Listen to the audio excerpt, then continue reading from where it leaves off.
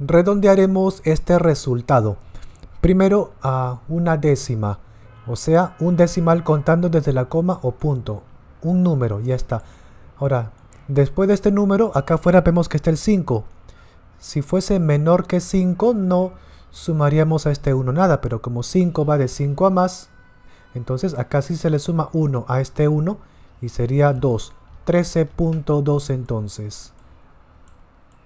Otro ejemplo ahora con la centésima. Centésima son dos números.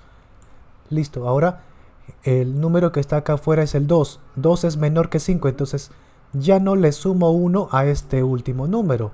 Se queda como está porque 2 es menor que 5, o sea sería 13.15.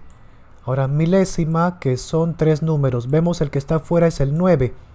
9 si va de 5 a más, entonces ahora sí se le suma 1 al último número, o sea al 2. Le sumas 1 y queda 3, o sea 153. Así que viene por acá.